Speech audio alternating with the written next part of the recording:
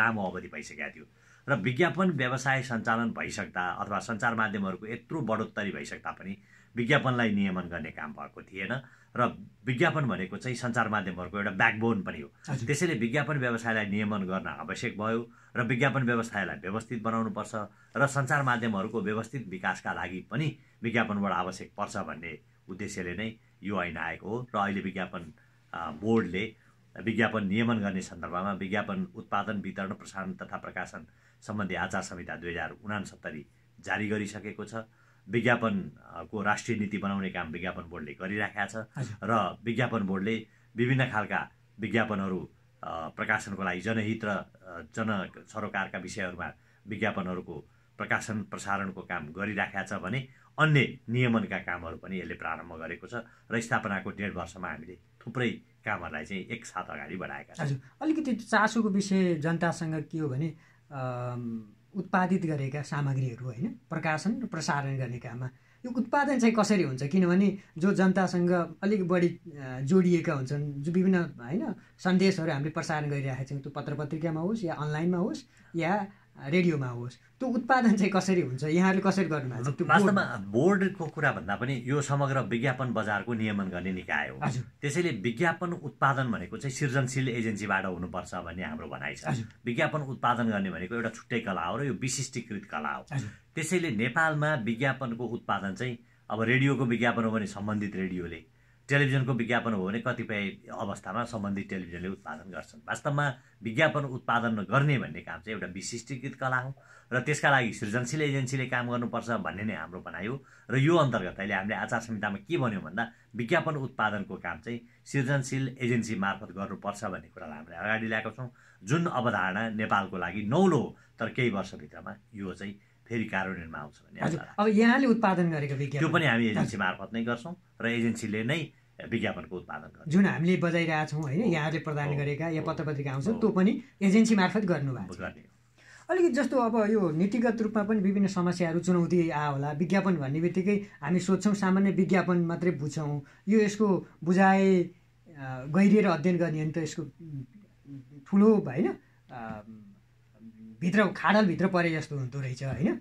कस्तो कस्तो समस्या चुनौतीहरू आइपरे हामी यहाँ अहिले डेढ वर्षको अवधिमा बोर्ड गठन भएर अगाडि आउँछ बग्रेलती समस्या छ मुखराजी यो कस्तो कस्तो अवस्था छ भन्दाखेरि पहिलो कुरा त विज्ञापन बजार पारदर्शी छैन। हामी विज्ञापन बजारलाई पारदर्शी बनाउनुपर्छ भन्ने कुरामा लागेका छौँ। सञ्चार माध्यमहरूको वर्गीकरण ठिक ढङ्गले हुन सक्छ जस्तो पारदर्शीको कुरा कसरी कहाँ अपारदर्शी? कारोबारमा अपारदर्शी छ। र खास गरिकन सरकारी विज्ञापनमा ठुलो चुहावटको एउटा प्रश्न उठिराखेको छ। त्यसलाई नियमन गर्नुपर्ने दायित्व विज्ञापन बोर्डसँग छ पहिलो। दोस्रो सञ्चार माध्यमहरूको पारदर्शिता भनेको सञ्चार माध्यमको प्रभाव र पहुँच र लोकप्रियता। जस्तो अहिले हामी शुक्ला गण्डकी एफएममा बसेर कुरा गरिरहेछौँ। शुक्ला गण्डकी एफएमको प्रभाव क्षेत्र कति हो? कति पपुलेसनमा यो रेडियो पुग्छ? र कति मान्छेलाई जनताहरू चाहिँ यसका श्रोता छन्? श्रोताहरू छन्। र कति चाहिँ यो रेडियो पपुलर छ? त्यो आधारमा विज्ञापन प्राप्त गर्ने हो जुन कुराको रेटिङ हामी कहाँ हुन सकेको छैन। त्यसैले सञ्चार माध्यमको रेटिङ हुन नसक्नु उनीहरूले निर्धारण गरेको दर रेटको मूल्याङ्कन हुन नसक्नु उनीहरूले प्राप्त गर्नुपर्ने रकम प्राप्त गरे गरेनन् त्यो हेर्न नसकिनु। यो खालको अवस्थाले गर्दाखेरि चाहिँ नेपालको सञ्चार क्षेत्र चाहिँ पीडित र प्रताडित छ। र कतिपय अवस्थामा कस्तो छ भने स्थानीय विज्ञापनहरू चाहिँ केन्द्रमा जाने स्थानीय स्तरमा स्थानीय जनतालाई सुसूचित गर्नुपर्ने विज्ञापनहरू चाहिँ केन्द्रका मिडियाहरूमा जाने तर स्थानीय स्तरमा थाहै नहुने र त्यहाँभित्र पनि लिकेज हुने यस्ता धेरै समस्याहरू बग्रेल्टी समस्याहरूले जकडिएको छ यो विज्ञापन बजार। र अहिले हामीले यो अध्ययनको फेजहरूलाई बिस्तारै सिद्ध्याउँदै नयाँ पोलिसीहरूलाई चाहिँ निर्माण गर्दै हामी त्यसलाई चाहिँ एउटा राइट ट्र्याकमा हिँडाउनको लागि प्रयासरत छौँ। मलाई लाग्छ केही वर्षभित्र तपाईँले देखिने गरी परिवर्तन चाहिँ पाउनुहुन्छ। यी कुराहरूमा। अब यहाँहरू चाहिँ नीति होइन बनाउने काममा चाहिँ केमा जुटिरहनु भएको छ अहिले हामीले महत्त्वपूर्ण रूपमा चाहिँ विज्ञापनको राष्ट्रिय नीति निर्माण गरिरहेको छौँ। त्यो भनेको अहिलेसम्म यो मुलुकमा विज्ञापनको राष्ट्रिय नीति छैन। कस्ता कस्ता विज्ञापन गर्ने कसरी गर्ने कहाँबाट गर्ने सूचनाको वर्गीकरण कसरी गर्ने सञ्चार माध्यमको वर्गीकरण कसरी गर्ने कसले गर्ने के आधारमा गर्ने लगायतका विषयहरू अहिले पनि अनुत्तरित छन्।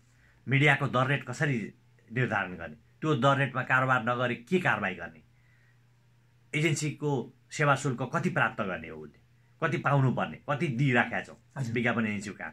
भनेपछि यी तमाम विषय छन् जसमा चाहिँ विज्ञापन बोर्डले जवाब दिनुपर्नेछ। त्यसैले हामी ती कामको अहिले एउटा एक किसिमले भन्ने हो भने हामी एउटा घर निर्माणको चरणमा अहिले हामी जग खनेर बल्ल जग पिलर उठाउने काम गरिरहनु पिलर पनि उठाएको छ। जग पुर्ने मात्रैको अवस्था हजुर यहाँले यो राष्ट्रिय नीति जुन विज्ञापनको कुरा गरिरहँदाखेरि जस्तो हालसालै मात्र होइन विज्ञापन छपाइमा अलिकति रक्सीजन्य सुर्तीजन्य भनौँ त्यस्ता किसिमका अगाडि पृष्ठमै राष्ट्रिय स्तरका पत्र पत्रिकाले छापे सामाजिक सञ्जालमा विभिन्न ठाउँमा त्यसको होइन समाचार जुन यहाँ विज्ञापन बोर्डका कुरा राखेर त्यो पनि जोडिएको विषय छन्।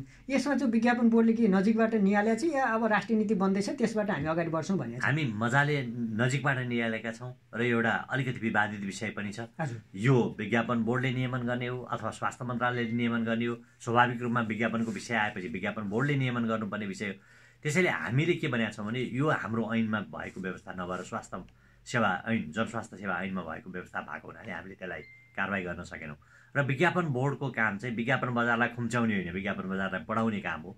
र यसको मतलब यो होइन कि फेरि जनस्वास्थ्यलाई असर पर्ने गरी विज्ञापन गर्ने पनि होइन। त्यसैले नेपालमा मदिराको विज्ञापन खास गरिकन सुर्तीजन्य पदार्थको विज्ञापन विश्वभर ब्यान्ड छ त्यसमा हामीले विवाद गर्दैनौँ। त्यो ब्यान्ड नै हुन्छ नेपालमा पनि।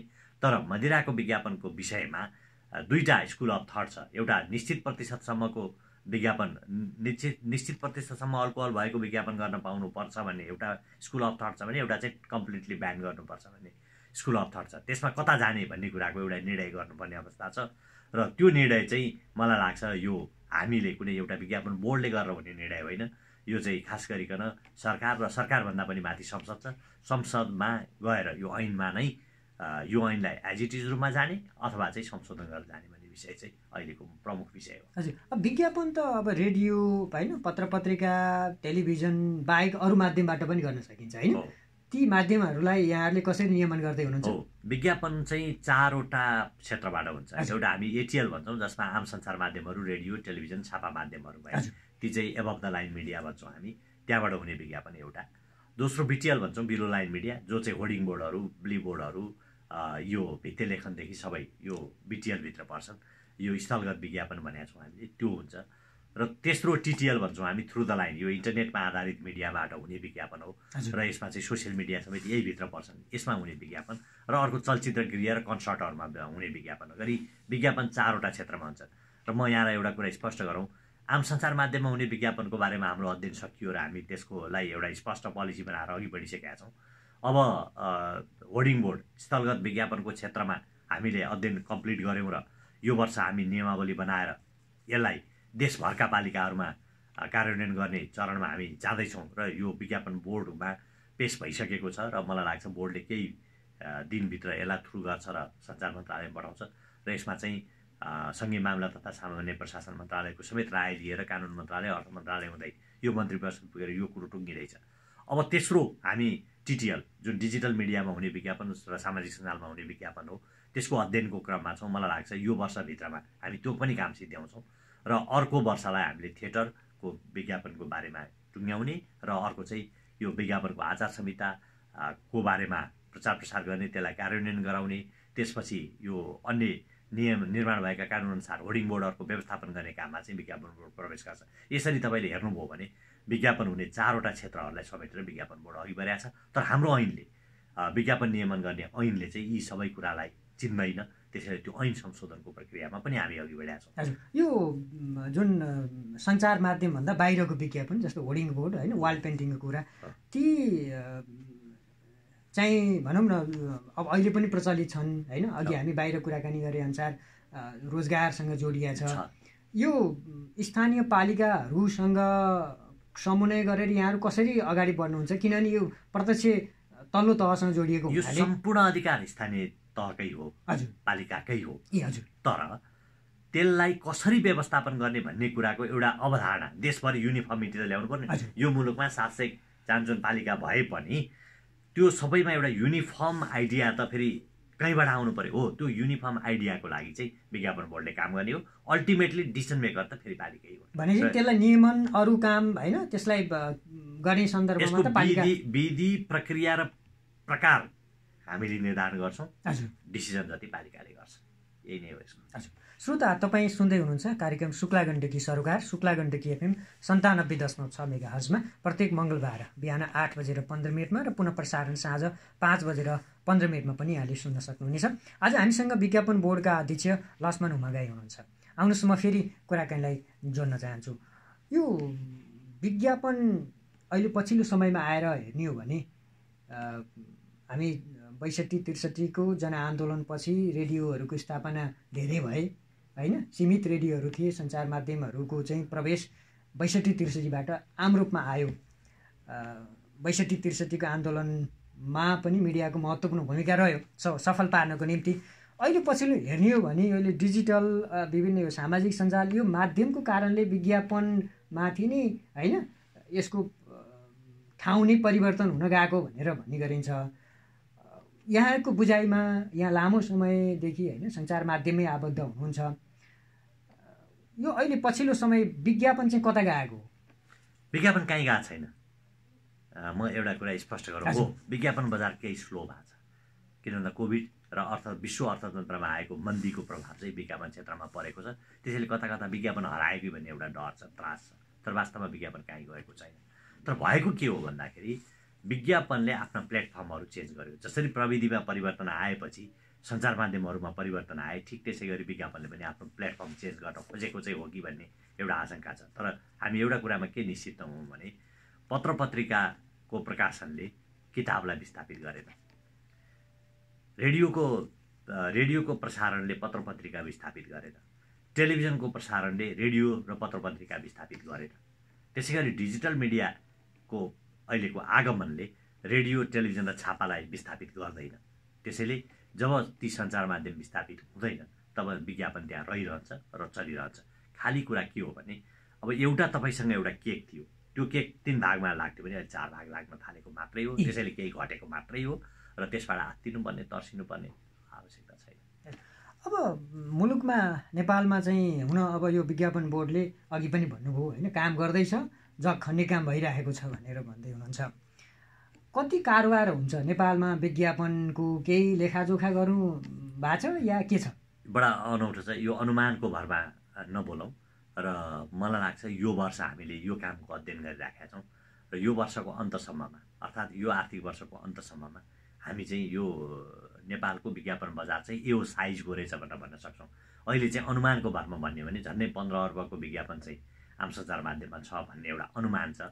र ठिक त्यसै गरी त्यति नै बराबरको त्यति नै भोलमको चाहिँ स्थलगत विज्ञापन हुनुपर्ने हो। तर हामी कहाँ त्यो व्यवस्थापन गर्न नसक्दा र ठेकेदारी प्रथाको कारणले गर्दाखेरि त्यो विज्ञापन बजार बडा बिग्रिएको अवस्थामा छ। त्यसैले त्यसलाई सुधार गर्नुपर्ने छ। हामी त्यसको पनि सुधार गर्छौँ र त्यसपछि डिजिटल माध्यममा हुने र चलचित्र घरमा हुने विज्ञापनको भोल्युम अलिक सानो छ र त्यसलाई पनि व्यवस्थित गर्छौँ। र यो यो प्रश्नको जवाब दिन चाहिँ म अबको छ महिनापछि मात्र सचेत हुन्छु किन भन्दा अहिले हामीले यो विषयमै स्टडी गरेर अब हामी स्वदेशभन्दा बाहिर पनि विज्ञापनको पैसा बाहिर गयो भनेर भन्छौँ विशेष गरेर निर्वाचनताका। र जब भर्ना खोल्छ होइन शैक्षिक सङ्घ संस्थाहरूको अहिले पछिल्लो समयमा त्यो पनि बढी सामाजिक सञ्जालमा देखिने गरिएको छ। त्यसलाई विज्ञापन बोर्डले नेपालमै विज्ञापन गर्नुपर्छ त्यो पैसा बाहिर जानुहुन्न भन्ने किसिमले भनौँ न त्यो नीति बनाउन या त्यसलाई रोक्न चाहिँ केही काम गरेका छ? विज्ञापनदाताको एउटा फ्रिडम हुन्छ। त्यो भनेको उसले चाहेको माध्यममा विज्ञापन गर्न पाउनुपर्ने उसको अधिकार हो। त्यो अधिकारलाई हामीले सङ्कुचन गर्नु हुँदैन भन्ने मेरो बुझाइ हो। तर यसको मतलब यो होइन कि उसले चाह्यो भन्दैमा सारा विदेशी मुद्रा फेरि विदेश पठाउने पनि होइन। त्यसैले विज्ञापनको नाममा पैसा गएको मात्र होइन विज्ञापनको नामबाट नेपालमा पैसा भित्रिएको पनि छ विदेशी मुद्रा भित्रिएको पनि छ। हामी त्यसको लेखाजोखा गर्दैछौँ अध्ययन गर्दैछौँ। र सम्भवतः यो वर्षभित्रमा हामी त्यसका लागि पनि रोक्ने होइन। तर एउटा नियमनको दायराभित्र ल्याएर त्यो बजारलाई पनि व्यवस्थित गर्ने काम चाहिँ विज्ञापन बोर्डले गर्छ र त्यो काममा अहिले हामी विज्ञापन बोर्डको अब तेस्रो प्राथमिकता यही नै हो हामी त्यसमा काम गरिरहेछौँ। हजुर। अब कति रेडियो होइन पत्र पत्र पत्रिका सँगसँगै टेलिभिजन अनलाइनहरू अहिले आबद्ध भइसकेका छन्। यहाँहरूले चाहिँ मुख्यतया होइन पहिला सूचना विभागले गर्ने काम अहिले विज्ञापन बोर्डले गरिरहेको छ। अलिकति भनिदिनुहोस् न कति सूचीकृत छन्? होइन यहाँहरूको अब कारोबारको हिसाबले अब मुख्यतः यहाँहरूको जिम्मामा आइपुगेको छ। यसको यस्तो अवस्था छ। तपाईँलाई भनिदिउँ झन्डै सात हजार पत्र पत्रिकाहरू नेपालमा दर्ता भएका छन्। छ सय तिरासीवटा पत्र पत्रिकाहरू बरिकाडमा परेको छ। अहिले विज्ञापन बोर्डले छ सय त्रिसा तिरासीवटै पत्र पत्रिकालाई विज्ञापन वितरणको काम गरिरहेका छ। पहिलो। दोस्रो झन्डै एघार सय तिसवटा रेडियो चाहिँ सूचना विभागबाट स्वीकृति प्राप्त छन्। सात सय जति रेडियो चलेको अनुमान गरिएको छ र विज्ञापन बोर्डसँग सूचीकरण भएको रेडियोको सङ्ख्या यो वर्ष चार सय बाह्र छ।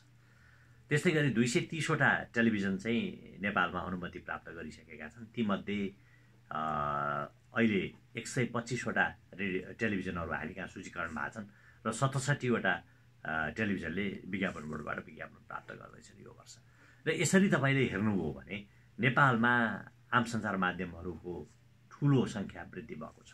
त्यो अनुरूप विज्ञापन बजारमा वृद्धि हुन सकेको छैन। त्यसैले गर्दा सञ्चार माध्यमहरूमा केही समस्याहरू देखा परेका छन्। र यो समग्रलाई हेरेर हामी अहिले के भनिरहेका छौँ भने सञ्चार माध्यमहरूको यो बढोत्तरी मात्रै भएर हुँदैन। विज्ञापन बजारमा पनि बढोत्तरी हुनुपर्छ भन्ने हाम्रो जुन एउटा अवधारणा अघि बढाएको छ। र यसमा चाहिँ कतै न कतै सामञ्जस्यता ल्याउनु पर्ने आवश्यकता छ। र यो चाहिँ अब तपाईँले खास गरिकन मुलुकको नीतिगत तहमा छलफलको विषयमा छ र सम्भवतः केही समयभित्र यसलाई पनि हामी एउटा पुऱ्याउँछौँ जस्तो पत्र पत्रिकाको तुलनामा रेडियोले न्यून रूप होइन विज्ञापन बोर्डबाट अहिले भनौँ प्राप्त शुल्क प्राप्त गरिरहेछ। यसमा पनि यहाँले केही सोच भनौँ न अब रेडियोलाई पनि धान्नको निम्ति केही बढाउनुपर्छ भन्ने यहाँले त्यो समन्वय भूमिका केही गर्नु भएको छ? जो गरेका छौँ हामीले लोकल्याणकारी विज्ञापनको रकम वृद्धिका लागि हामीले सरकारसँग अनुरोध गरिरहेका छौँ। अघिल्लो वर्ष पनि हामीले पचास प्रतिशतले वृद्धि गरौँ भनेर सञ्चार मन्त्रालय प्रस्ताव गरेका थियौँ। र यो अब देशको स्थिति तपाईँलाई थाहा छँदैछ। आर्थिक अवस्था चाहिँ त्यति राम्रो छैन। त्यसले गर्दाखेरि गत वर्ष पनि वृद्धि हुन सकेन। र यो वर्ष पनि हामी प्रस्ताव गर्छौँ। र आशा गरौँ यसमा केही वृद्धिवाला विज्ञापन बोर्ड आइसकेपछि झन् सहज सरल होइन रूपमा भुक्तानी हुन्छ चाँडो हुन्छ भन्ने आम भनौँ न सोचाइ थियो। तर कतिपय मिडिया सञ्चालकहरूले चाहिँ त्यो भुक्तानी समयमा नपाएको भन्ने गुनासो पनि छ। यसमा के गर्दै हुनुहुन्छ? मलाई लाग्छ विज्ञापन बोर्ड आउनुभन्दा अगाडि देशका जम्मा पाँच ठाउँबाट भुक्तानी हुन्थ्यो। जस्तो तनहुको रेडियोले भुक्तानी लिनको लागि पोखरा जानु पर्थ्यो हुम्लाको रेडियोले भुक्तानी लिनको लागि सुर्खेत आउनु पर्थ्यो अहिले हामीले हुम्लाको रेडियोलाई हुम्लाबाट तनहुको रेडियोलाई तनहुबाट तनहुबाट भुक्तानी गरेका छौँ। र ढिलो भयो भन्ने कुराको चाहिँ म त्यति स्वीकार गर्न सक्ने अवस्थामा रहेन अहिले। किनभने पहिला चाहिँ तिन महिना चार महिनाको एकचोटि भुक्तानी हुन्थ्यो भने अहिले हामीले मासिक रूपमा भुक्तानी गर्ने भनेर आदेशै पठाएको छौँ। यो चाहिँ छापाको हकमा।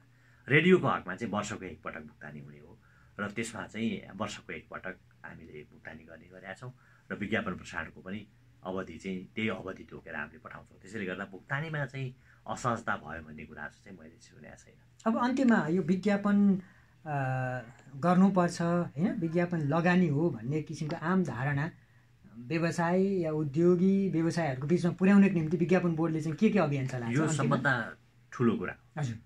जबसम्म विज्ञापनप्रतिको विज्ञापनदाताको रुचि जाग्दैन त्यो बेलासम्म विज्ञापन बजारको वृद्धि हुन सक्दैन। र विज्ञापन एउटा मिडियामा विज्ञापन गरेको आधारमा मैले विज्ञापन पाइनँ भनेर अरू मिडियाले विज्ञापनमा दबाब दिन लागे भने झन् विज्ञापन बजार खुम्चिन्छ। अहिले नेपालको ठुलो समस्या के हो भने एउटा कुनै सञ्चार माध्यममा विज्ञापन गर्यो त्यो विज्ञापनदाताले भने भोलिपल्ट उसको अफिसमा लाइन चाहिँ दुई सयजनाको लाग्ने सम्भावना छ। जसले गर्दा विज्ञापनदाताहरू हच्किएको अवस्था छ विज्ञापन गर्न। हामीले के भनेका छौँ भने विज्ञापनदातालाई विज्ञापन दिनको लागि चाहिँ स्वतन्त्र छोड्नुपर्छ स्वायत्त बनाउनुपर्छ। र उसले चाहेको र रोजेको सञ्चार माध्यममा रोजेको समयमा विज्ञापन गर्न पाउने व्यवस्था मिलाउनु पर्छ भन्ने हाम्रो प्रयास हो। र यदि त्यो गर्न सकिएन भने यो विज्ञापन बजार बढ्दैन र यसले अन्तत समस्या चाहिँ सञ्चार माध्यमलाई नै पर्छ। त्यसैले कसले कसमा विज्ञापन दियो र मलाई किन दिएन भन्ने भन्दा पनि आफूले आफ्नो कन्टेन्ट राम्रो बनाएर र विज्ञापन प्राप्त गर्ने वातावरण सिर्जना गर्नु नै अहिलेको लागि श्रेष्ठकर हुन्छ। हस् यो समय जानकारी कुराकानीको लागि यहाँलाई धेरै धेरै धन्यवाद। यहाँलाई पनि धन्यवाद। श्रोता यहाँ हुनुहुन्थ्यो विज्ञापन बोर्डका अध्यक्ष लक्ष्मण हुमागाई। तपाईँलाई आजको कार्यक्रम कस्तो लाग्यो? सल्लाह सुझाव र प्रतिक्रिया छन् भने अवश्य पनि लेखी पठाउनुहोस्। हाम्रा सामाजिक सञ्जालहरू सबै खुल्ला छन्। हाम्रो टेलिफोन नम्बर शून्य पैँसठी चार चौध तिन सय अठहत्तर मोबाइल नम्बर अन्ठानब्बे शून्य अठाइस चौतिस एक सय एघार र चौतिस एक सय बाह्र सबै खुल्ला रहेको जानकारी गराउँदै आजको कार्यक्रमबाट म राजन उपाध्याय पनि बिदा हुने आज्ञा चाहन्छु। नमस्कार।